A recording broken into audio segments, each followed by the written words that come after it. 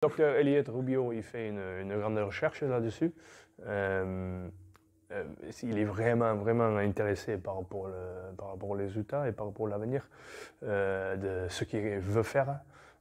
mais surtout, je pense, il va arriver au, fond du sujet pour, trouver la solution. Mais c'est rien inquiétant, c'est rien dangereux, c'est rien, rien important. Et c'est juste une un autre, un autre, petit peu de, de, poids euh, dans mon coin euh, pour se battre. Ouais. Acti.fr